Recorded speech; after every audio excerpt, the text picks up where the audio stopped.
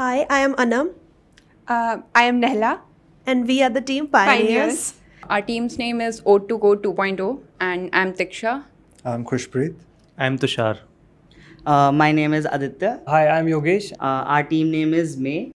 Maybe it, it was because of the consistent efforts of us for the whole 36 hours and the dynamics of our friendship that we were enjoying and we were learning and we were just having fun. We did spend a lot of time understanding the data and not typically just running the models, but we did wanted to be thorough with it and make sure that we're not leaving anything, uh, leaving certain loose ends. I think first of all it was the uh, team deciding factor. Like we decided this team because first of all we sit on the same bay.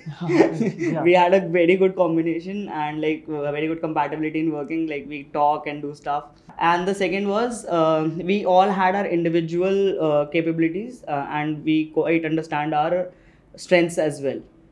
Uh, yeah, none of us worked on NLP before, so uh, we got to learn it beforehand because we knew that it will be going to a part of this activity. Natural language processing was an extremely new concept for us.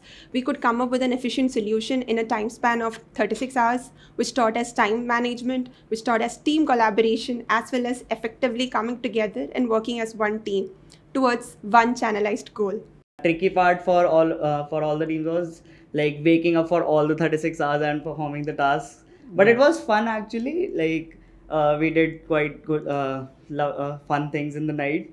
Like uh, most of us went home but those who remained at the uh, at uh, office we had so much fun. The other challenging part for me was the innovation that was there. So 10% weightage for the, in the competition was for innovation part, and we did a lot of brainstorming to come up with a different kind of ideas just to be a step ahead of other teams. Hashtag Deciphr Hackathon. hashtag deciphr hackathon